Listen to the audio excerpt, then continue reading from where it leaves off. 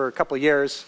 And uh, so it's nice to have a Colossians today. It's a, a, short book, it's only four chapters, so we'll be going through this during the summertime and into September. And, uh, and I want to encourage you to uh, read it on your own and become very familiar with it. We're going to be going through it week by week and studying uh, not only the content and its interpretation, but also its application. And I pray that it will be as a blessing to you as it has been to me in preparation. So turn to the book of Colossians, and uh, we'll read the first eight verses to begin with today, and, uh, and then spend some time examining its interpretation and application. So, Colossians chapter 1. Paul, an apostle of Jesus Christ by the will of God, and Timothy, our brother, to the saints and faithful brethren in Christ who are in Colossae. Grace to you and peace from God our Father and the Lord Jesus Christ. We give thanks to the God and Father of our Lord Jesus Christ, praying always for you, since we heard of your faith in Christ Jesus and of your love for all the saints, because of the hope which is laid up for you in heaven, of which you heard before in the word of truth of the gospel, which has come to you, as it has also in all the world, and is bringing forth fruit, as it is also among you since the day you heard and knew the grace of God in truth as you also learned from Epaphras, our dear fellow servant, who is a faithful minister of Christ on your behalf, who also declared to us your love in the Spirit. Father, again, we come and we just ask that you would bless the teaching of your word. God, just, you know, invigorate me, empower me. I've done the study, I, I know the text, but I'm asking, God, that you would bring it to life in the teaching. And God, that you would touch every heart here for greater intimacy, for greater confidence, and greater joy in the solid, unshakable foundation we have in Christ.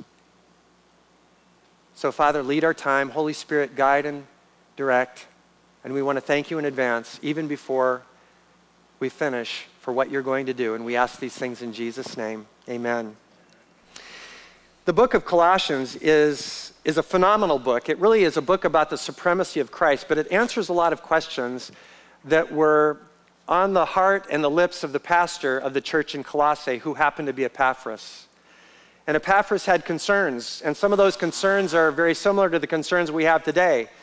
Uh, for instance, was Jesus just a prophet, a moral teacher, an ascended master, or was he the Son of God? And more specifically, was he God? Another question they were struggling with is Does it matter what we eat? Does it matter what we eat, either ceremonial, uh, ceremonial with the Old, Old Testament covenant? Does it matter what we eat, if we're vegan or if we like lau lau and pork hash? Does it matter? Does it matter what day we worship on? Are we still bound by the Old Testament covenant of the Sabbath?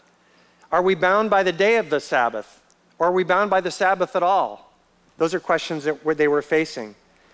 Is harsh treatment of the body a successful remedy for overcoming sin?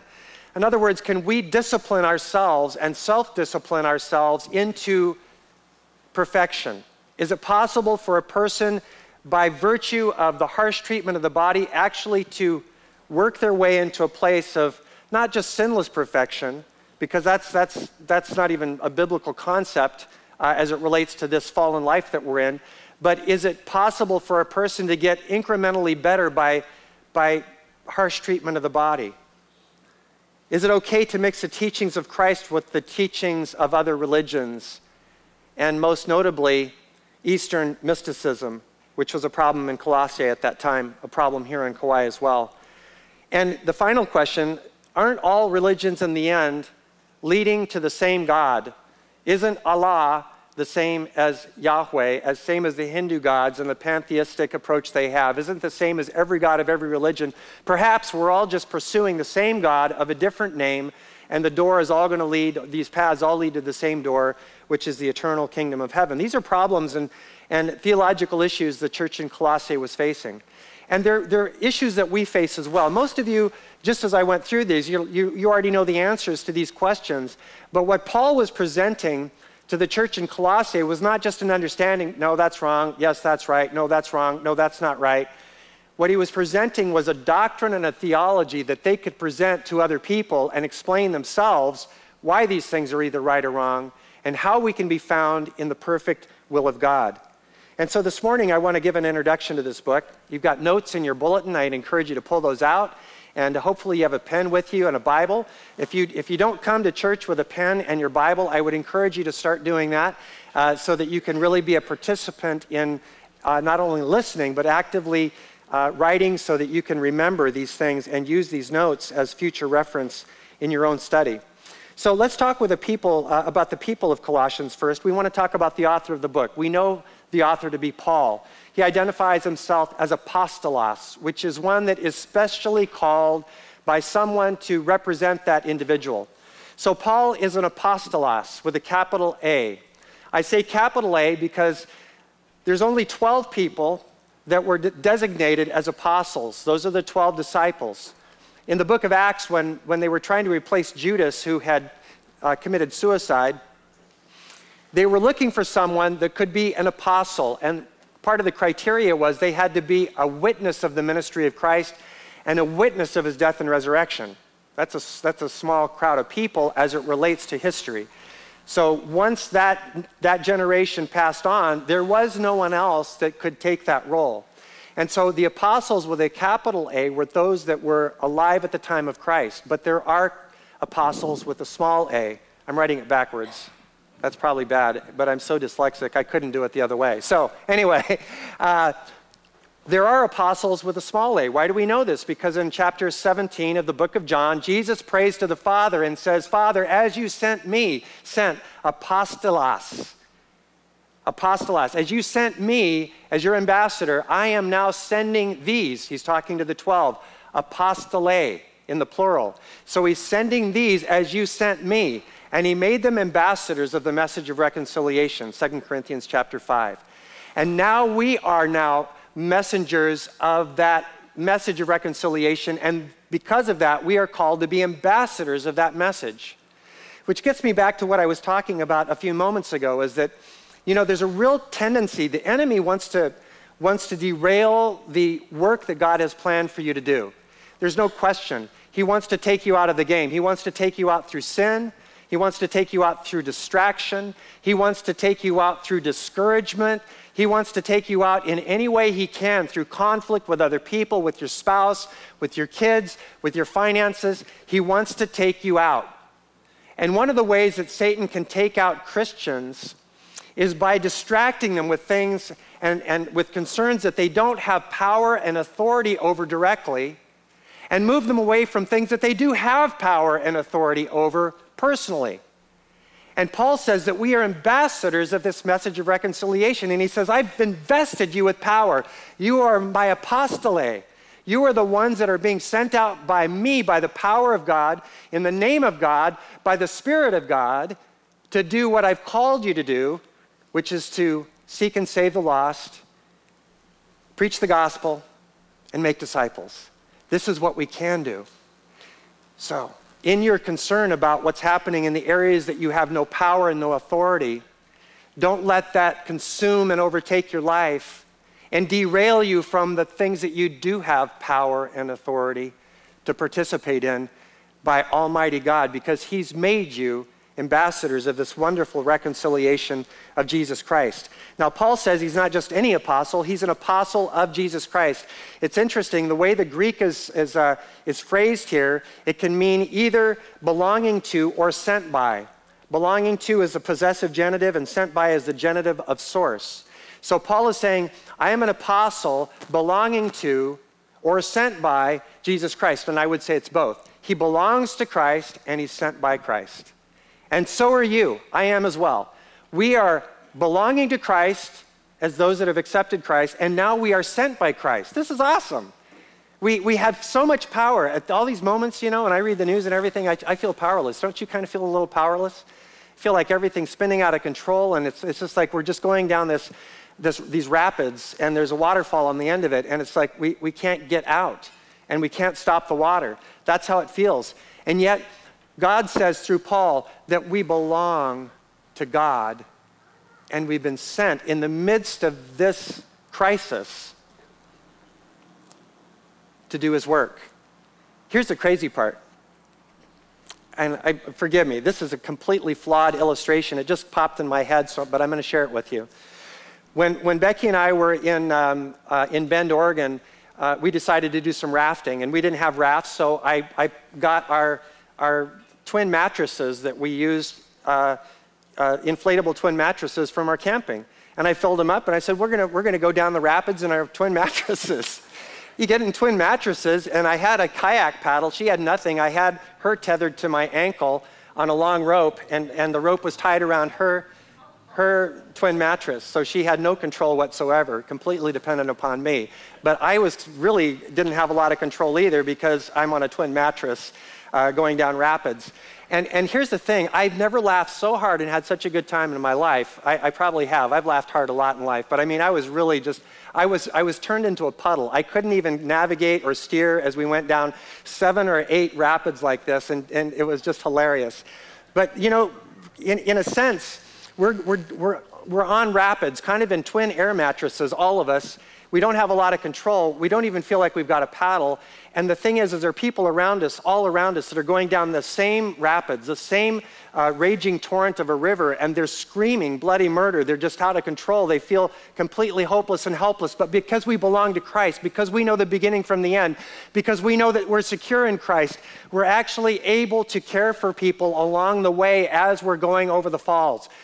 We're going over the falls. I hate to say it, but I don't talk, I'm not talking about America. I'm saying that, that God is going to bring his wrath and his punishment upon earth. That is fixed in God's eternal economy. So we are in that rapid. At sometimes it gets worse than others and it backs off and it's placid and we think, oh, we're in good times. These are good. And then the rapids come again and then we hit another rough patch in the river and we think we're going to die. And, and then it gets placid again. I don't know what's coming. I really can't tell you uh, except what prophecy says, but I want to tell you that we're safe and secure, and there are people around us that need us to be a calming influence and extend to them the hope of Christ. We're not going to get out of this, but we can extend the hope of Christ of not only peace and confidence as we go down the rapids, but a knowledge that in the end, the rapids aren't going to finish us off, that we have an eternal destiny with Jesus Christ. That's a really rocky illustration. I'm sorry, but it's what came to mind. So I, I ran with it. I, I hope it's helpful to you. But Paul says, I belong to Christ and I'm, I'm sent by Christ. The Bible tells us again in 1 Corinthians 6 that we've been bought at a price. We are not our own. And therefore, we belong to Christ. And he goes on to say, and because you're not your own, you need to offer yourselves in service to God. And this is the calling that Paul had belonging to Christ and sent by Christ, and he says it's by the will of God. He's not a ladder climber. He's not, he's not uh, uh, clamoring and walking over other people to gain a, a position of an apostle. God called him, and God has called us as he called Paul. Well, he also mentions another name here in the opening verse. He talks about Timothy and he calls him our brother. Timothy was Paul's son in the faith. Uh, he was his disciple, his companion in ministry, and also a pastor. And, you know, I, I was having a, uh, Mike and Becky and I were having our family devotions uh, yesterday um, morning, and we, we started in the book of 1 Timothy.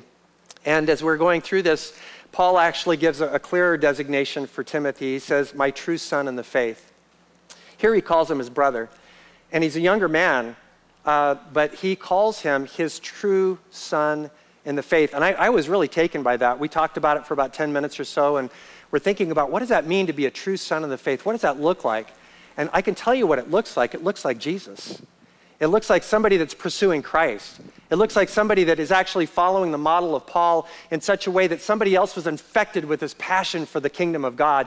And Paul saw it working itself out and through the, the heart of Timothy. And he said, my, you're, you're, you're like my true son in the faith. You're like my brother from another mother. It's that whole same concept. You know, it's like we share everything in common. And why? Not because he was just following Paul, but because he was following Christ. And he calls him our brother. Now, what I love about this is that we, we find out some leadership principles about Paul in the way he led. And I want to encourage you because all of us have some form of leadership in life. It might be as a husband or as a parent, a mom. It might be that you own a business or that you have employees under you might be in your community, might be in the church. but wherever it is, take note of the kind of leader that Paul was. Because he very easily could have just said, The Apostle Paul is now speaking, and left everyone else's name out. But he includes all these other names, uh, including Timothy. And he recognized the partnership of those that served with him. This is what Paul did by bringing up Timothy's name. He says that I want you guys to know I'm not by myself. I'm not doing all this alone. Timothy, my brother, my true son in the faith, we share the same heart and the same passion and the same love and the same commitment and the same calling. And we're walking together in this mission. It also promoted the gifts and abilities of people that served with them. And that's what we need to do. We need to recognize people in, in, in our community, in our, in our sphere of influence, and we need to do that publicly. And we need to find things that people are doing well and, and, and, and, and let people know around us. Wow, did you know this guy can do that? Did you know that they blessed me here? Did you hear about what they did over here? I call it holy gossip. Holy gossip. You know that's what this is right now, right? Can I tell you why? Does anybody not know what holy gossip is? First time you've heard holy gossip, raise your hand. Oh, quite a few of you. Okay, so you know what gossip is. That's saying potentially true things about somebody behind their back. Uh, very damaging. Holy gossip is when you say things publicly in front of people's back or in their front, uh, and you're saying it in front of them, and you're lifting them up, and you are highlighting their successes and their character and the blessing they are to you in your life. That's holy gossip. So Epaphras, who was a pastor, had reported to Paul about the church in Colossae and was in prison with Paul at the time, reported the things that, about Colossae, and he engaged in holy gossip and was talking about the church in Colossae. Now, Paul is engaging in the same way with Timothy, and in written form, he's giving holy gossip about the blessing that Timothy is.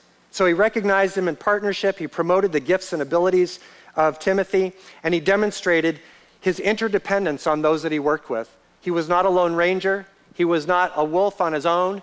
This was a man that understand, understood that though at one time he was very arrogant and proud and a ladder climber, he was not that man any longer. He was a man who was interdependent, knew he needed other Christian men in his life, women needing women, men needing men, accountability, uh, partnership, that we can't do this alone.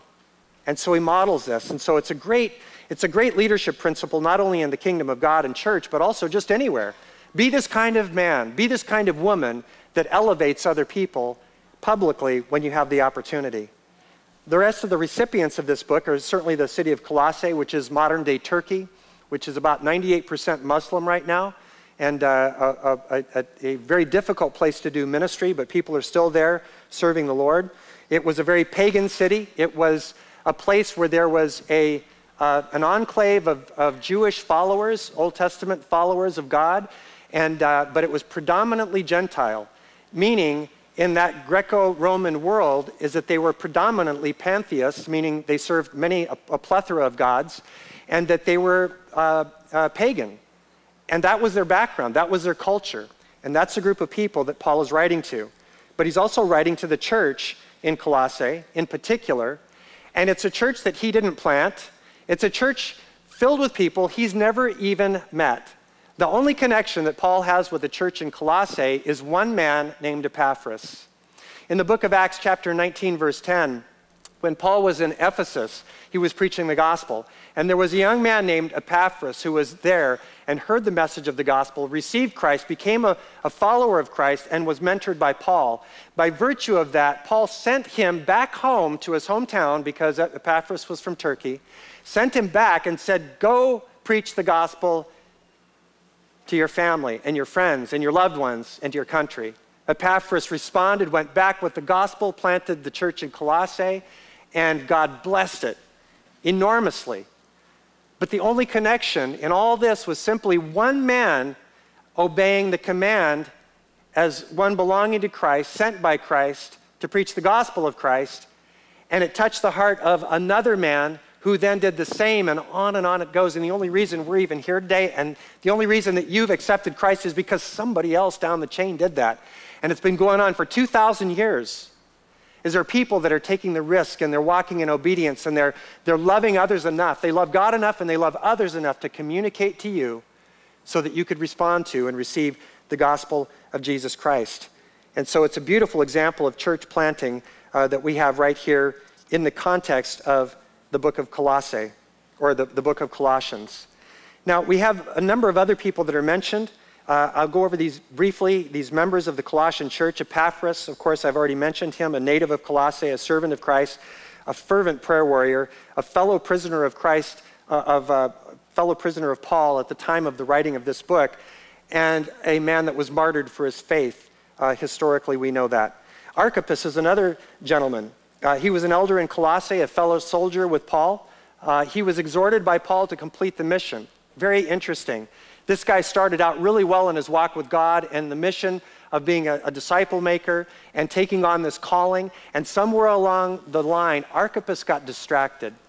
He got distracted by things in the world, probably by family, his house, his business. We don't know exactly what distracted him, but he got pulled out of the battle. And he, probably better yet, he, he walked away from the battle. He didn't get pulled out. He, he walked out of the battle. And Paul will write him in the final chapter of, of, Coloss- of Colossians in verse 17 and say, specifically, call this guy out. And he said, Archippus, you received a calling. Get back to work.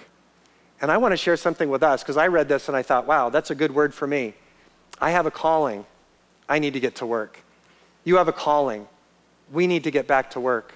And I'm not saying we aren't, but I'm just saying it's an encouragement. That's what Paul was doing with this uh, with this gentleman. He was saying, You had a calling, you started out so well, but you got derailed somewhere along the way and you became so consumed and so busy with everything else that this primary mission I've given you has taken a back seat to everything else.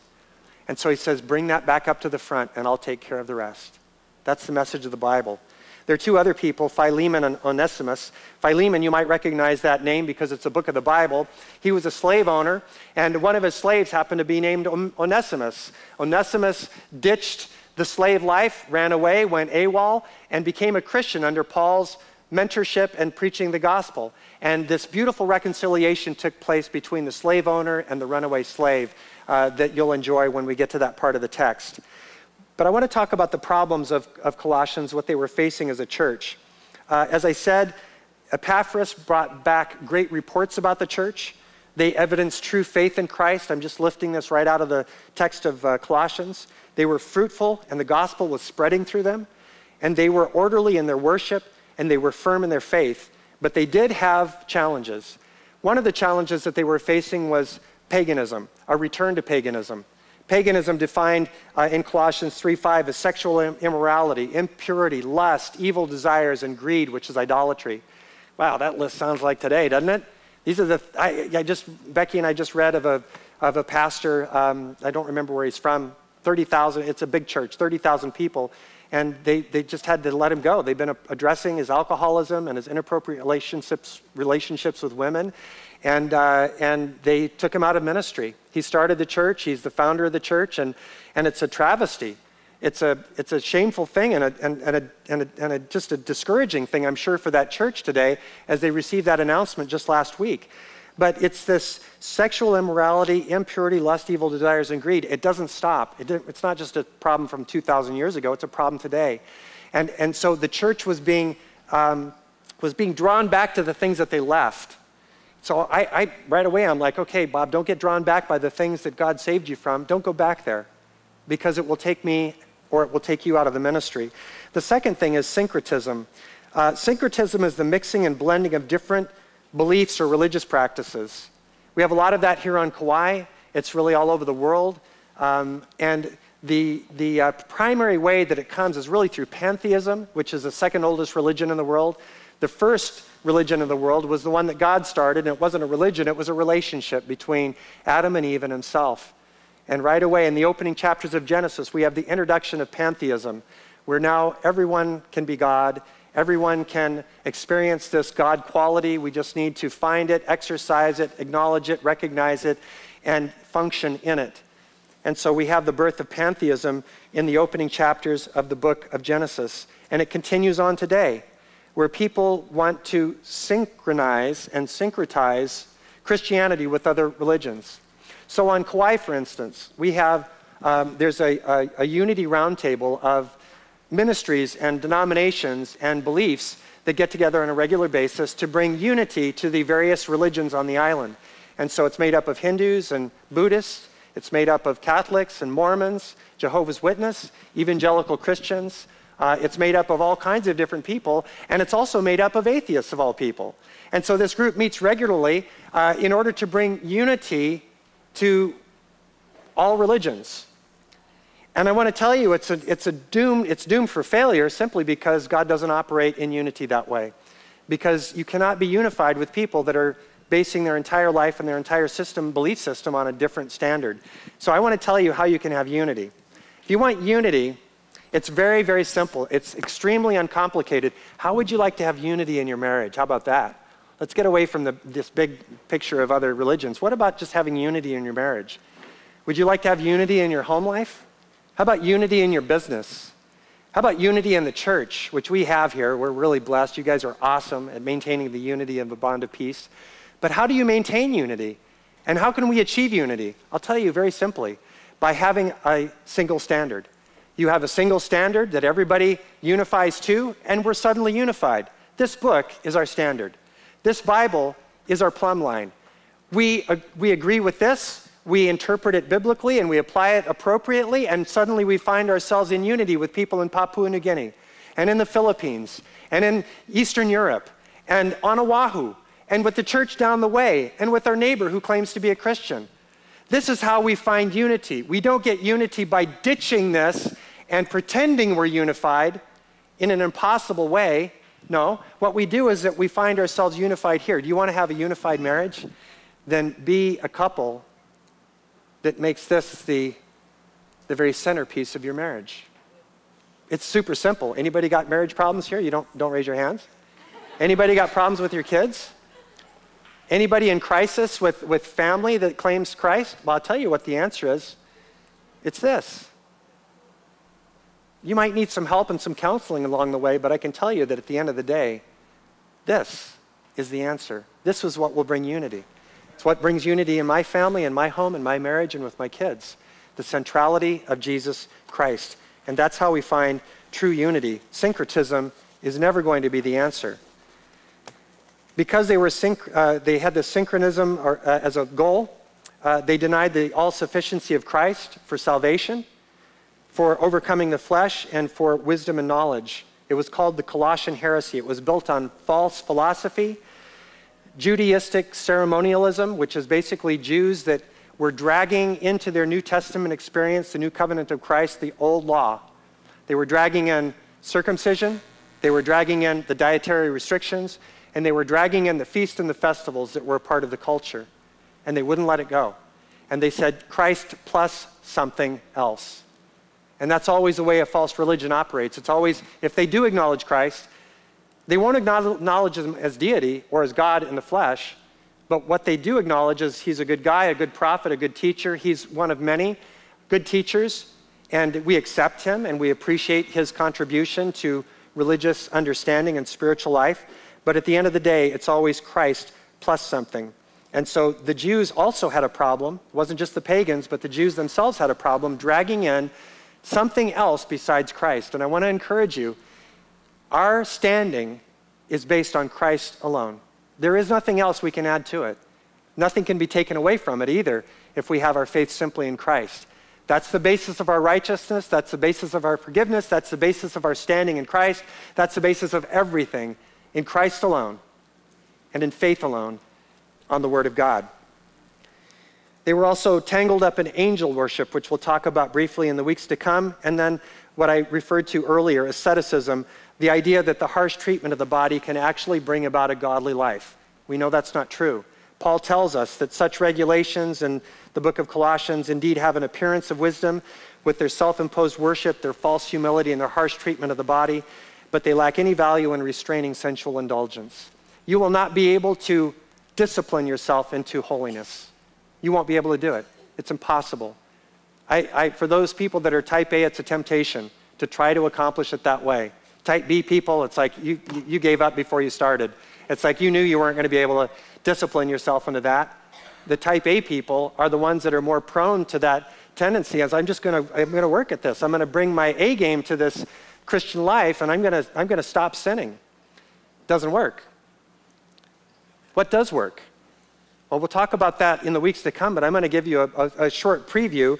In the book of Romans, chapter 6, verse 22, Paul says that the only way to overcome the flesh is being set free from sin. That happens when we receive Christ as our Savior. And secondarily, when we become slaves to God. Those are two different things. When we are set free from our sin, which is a sal- salvation, a point of salvation, but then when we become slaves to God, that's a choice.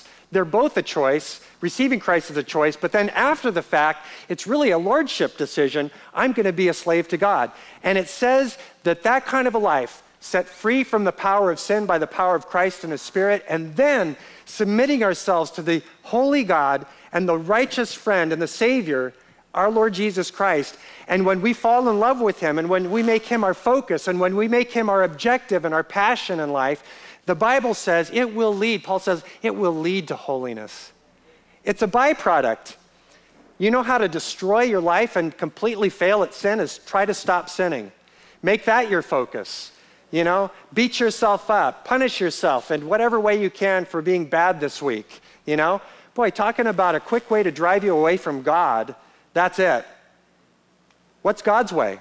God's way is to simply repent, ask for forgiveness, and then focus on Christ. Love Christ with all your heart. Get his heart, get his mind, be in the Word. God says that he is going to live his life through you, and it's going to lead to a holy life. Really beautiful. Such freedom that we have in Christ. Well, Paul encourages the believers, and that's the purpose of the book, uh, and he informs them of their high standing. He calls them holy brethren, hoi hagioi, and it means saints. They're saints not because of their performance, they're saints because they are now free from sin in the eyes of God, and they're clothed in the righteousness of God. And he calls them faithful brethren. Not just believers, but they are faithful brethren.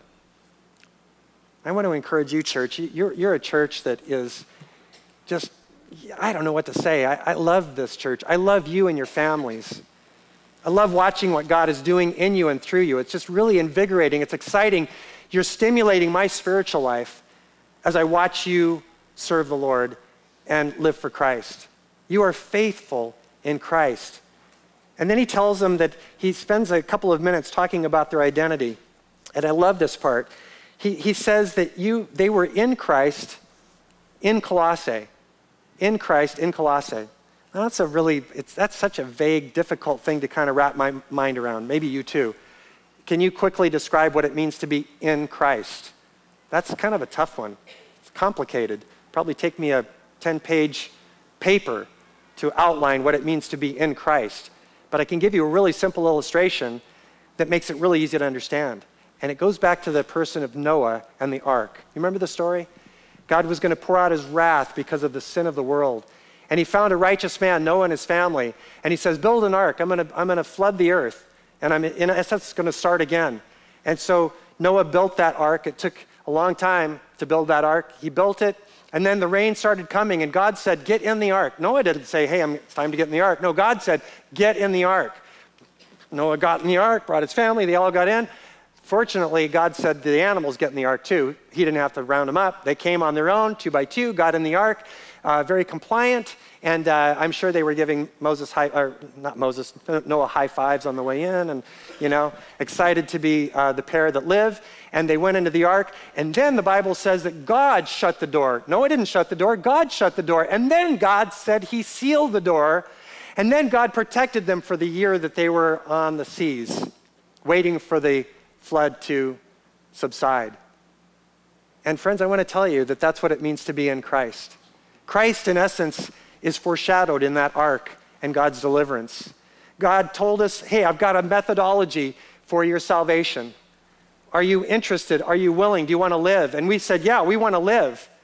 And then he says, okay, then I've got, a, I've got an ark I've already built for you. Noah had to build his. We don't have to build ours. Jesus Christ is our ark. And he says, Come to me, all you who are weary and heavy laden, and I will give you rest. Come, I will save you, I will deliver you. Come and have a relationship with me. Walk in me, be in me, and let me be in you. And so we walked in the door, and God shut the door, and God sealed us by the promise of his Holy Spirit, and God is going to protect us until his wrath passes. That's the promise for the church. Isn't this awesome? This is really good stuff. But he says, You are in Christ because you simply believe the gospel message.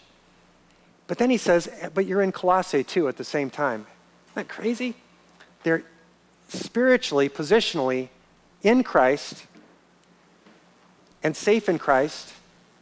And while they're safe in Christ, going down these rapids of life, simultaneously, they're in Colossae. We happen to be in Kauai today, and most of us live here. Some of you are visiting. Wherever you're from, God has appointed you to be in that place. You know that in, in Acts 17 26, it says that God has actually appointed the exact time, meaning the millennia, the century, the decade, the year that you were born. God appointed that time for you, knew you by name before you existed, and He also appointed the exact place where you would live. Is that crazy? Look it up yourself. Acts 17 26. And he says he did this so that we might seek him. In other words, there's a reason that God's placed us here and now in this place, and we want to know why. And we go to God and said, Why have you placed me here of all time and all places? What do you want to do?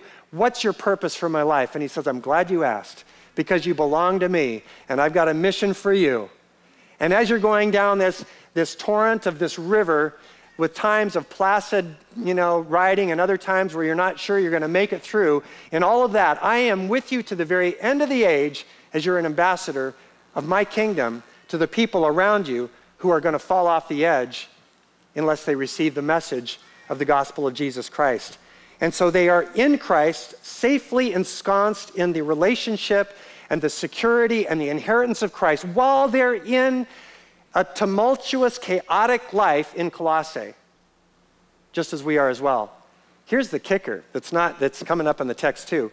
We're not only in Christ in Kauai, but we are seated in Christ in the heavenly realm because we have an eternal kingdom and a citizenship that's from above. It's not temporary, it's not worldly, it's not carnal, it's not falling apart, it's not going to hell in a handbasket. It's safe and secure in the heavenly realm. So we live in three dimensions. We're in Christ, we're in Kauai, and seated at the right hand of God in Christ in the heavenly places. And because we're so safe, we can live radically. We can live without fear. We can live without hand wringing that everyone else is doing in the world. And we can live for the purpose of God, in the authority of God, by the power of God, where He's invested us with that power and authority to do something fantastic that isn't a temporary fix to a permanent problem that's never going to ultimately be solved in this life, in this world. And he says, Be a part of my kingdom where the problems are solved for eternity by coming to Christ and preaching the gospel. Paul imparted to them a blessing by saying, Grace and peace to you. A, the twin sisters of the New Testament. And I won't, I won't talk about that except to say it's always in that order. You always receive the free blessing the undeserved, unmerited favor of God first, and it leads to peace. It's like rest. We can rest. We can be at peace and at rest because we have the unmerited favor of God. If we didn't earn it to get it, we're not going to earn it or keep it by being good. So we receive it freely. And because of that, our hearts can be at rest and at peace. Again, he warns them to be careful about uh, a relapse into paganism and against syncretism by affirming the supremacy of Christ. He's the Son of God, He's the all sufficient Savior, and He's the preeminent Lord. I want to finish just before I wrap this up by giving you all the designations of Christ in the book of Colossians alone to help you realize what a priority it is for Paul to elevate the person of Jesus Christ. I hope it encourages you and strengthens you about the person that you're following, about the person that has saved you, and the person that lives in you by the power of the Spirit but also that we have a message to give and a confidence that we can have even in uncertain times. And I've got references for each one of these, but I won't put down the references because it will um, make the presentation of them too choppy. I just want to give you the designations that are found in Colossians regarding Jesus Christ. He's God's Son, He's the Redeemer, He's the very image of God, the Lord of creation, the head of the church, the fullness of salvation the reconciler of the universe, the one who contains all the treasures of wisdom and knowledge, the standard by which all religious teaching is judged, the fullness of God, undiminished deity. The one under whom all power and authority is subjected, the victor over all cosmic powers. The reality of the truth foreshadowed in the Old Testament types and figures, in the regulations and rituals. The one exalted and enthroned at the right hand of God in heaven. The one in whom we are complete and in whom our life is hidden, protected, and kept. The one by whom our new life will be glorious manifested, it is coming again, and it is through him and because of our new life in him that we ought to put away our old manner of life, of which we have been marvelous, marvelously saved. He is the preeminent one, the Savior, the King, the champion of the church. This is who Paul is declaring. This is who we follow. This is who has saved us. This is who has made these promises to us. And this is the one that's coming again, just as he promised. So we have a job to do. We've been called. We have to be on guard against uh, returning to our, our previous life. We need to be on guard against syncretism. We need to be on guard against being derailed, thinking that we have no power when we've been given power and authority in the most stupendous and incredible and important arena of life and that's the spiritual area. And we've been told that we belong to Christ and that we have been sent by Christ and that we live, in essence, in three dimensions in Christ, in Kauai for a temporary period of time or wherever you're from, and then finally in the presence of God for all eternity, seated at the right hand of God in the person of Jesus Christ. Wow. Wow. This is amazing what God has done for us. Let's rejoice in it. Let's spread the word. Let's invite people to church. Let's let people know who are heading down this stream on their twin air mattress without a paddle. And let's be the people that are riding right along with them with our twin air mattress, but with a, a, a line right to the King of Kings and the throne where we know at any moment's notice our Father, our Savior, is going to come and snatch us away. We have no worry, no concern, no fret, no anxiety, because we know the end of the story, but those around us don't, and they need the lifeline. Be a man or woman that extends that lifeline of the gospel of Jesus Christ in a very uncertain and turbulent time. Father, we thank you for this time and our, and our time of fellowship. I pray that you'd bless the men and women and young people of this church. God, what a blessing to serve in this church. I love to be a person that gossips about this fellowship in a holy way, highlighting and, and and um, highlighting the, the various aspects and the qualities, their characteristics, their, their service, their heart for you, their passion for the kingdom, their continuous uh, effort to say no to sin and yes to righteousness, their availability, their willingness to serve not just the body of Christ, but their neighbors and their friends, their passion for the gospel, their love for you, their love for one another, and their love for the lost, and their willingness to answer that call as ambassadors of this message of reconciliation and continue to preach and continue to teach and continue to communicate a lost world to a lost world this incredible message of salvation in Christ alone. There is no other name given among men under heaven by which we must be saved. And Jesus, you said it yourself I am the way, the truth, and the life, and no one comes to the Father except through me. And so, Father, we pray that you give us courage this week and opportunity and open doors and love and, and the words to be able to speak that others might know, others might hear, and others might be saved. And we ask it all in Jesus' name. And we pray together. Amen. Okay, let's stand and we're going to close with the final worship song. God bless you guys. Uh, anybody that would like to, I want to uh, say that we want to pray for the people that we mentioned earlier. So Rusty's here, Lynn is here. Uh, I don't know, is Terry here? Terry, are you here? Terry Hogue? I, I didn't see her. But uh, if, uh, if you'd like to pray with us, we're going to lay hands on them and anoint them with oil as well.